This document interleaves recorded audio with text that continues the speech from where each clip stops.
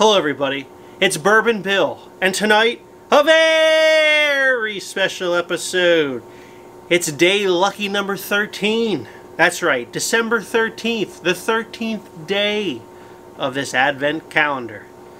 My wife has lovingly poured this blind, or not so lovingly because it's a little late at night and she's a little PO'd that she had to do this. So, oh my gosh, I forgot my so if you're just joining us for day 13, you must have been in a coma the previous 12 days. But we are doing category, finished, yes or no, proof price, bottle, and distillery. We're off a, you know, an average or so advent calendar so far. Not too bad, but not too great. As far as the guessing, the pours, phenomenal. So thank you so far to everyone who sent them in. Alright, the one today, a little light looking. Alright, you know, we're not going to give up on it just yet until we uh, give it a quick swirl and a smell. Let's give it a nosing here. What in tarnation is this? This is, uh... I get like uh, some artificial red candy. Like pink bubble gum. Very fruity. Does not smell too high proof, but it's just got some like caramels, vanillas, nothing too heavy, nothing too dark, and then just BAM! Just like pink bubblegum and like artificial Jolly Rancher cherry. That's what we're getting here. Like a light, bright cherry, too. Let's take a sip. I never tasted something that just felt so watery thin. And like light on flavor too. I huh, this is not high proof. We're gonna say that. Is this like Basil Hayden's like red wine cask finish? All right, let's take a, another sip here. The majority of the flavor is like a light pink bubblegum flavor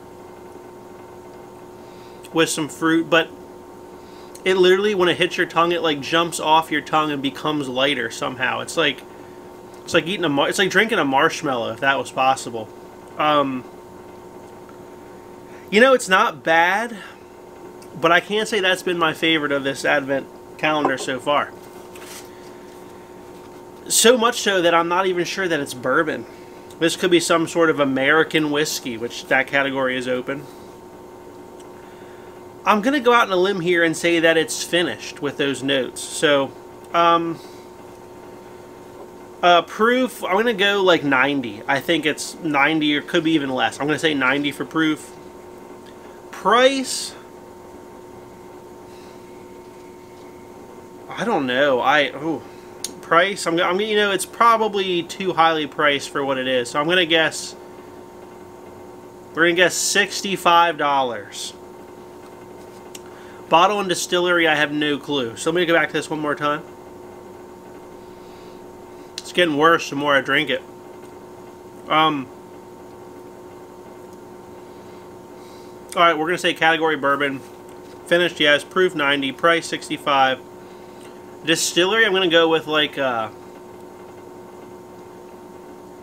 This, I think this is a craft of some sort. I, I'm just thinking it's like Starlight of some sort. Like a low proof finished Starlight. Alright, those are my answers. Rita, who sent this in? The person with the photo. Now, how the hell do I know what... Where, where'd you get it from? What box? Well, the name's on the box. Ah, uh, William Kennedy! Thank you, sir, for sending it in, but uh, we don't know if that was our favorite of the calendar. What was it? Yeah, but that's mm-hmm. Jefferson's reserve, and it's got to be finished though. All right, William Kennedy, thank you, sir. There it is. He's almost finished this. I don't know if this is a struggle for him or not, but it might have been to get down that, that far in that bottle. this is the Jefferson's Reserve Pritchard Hill Cabernet Cask Finish.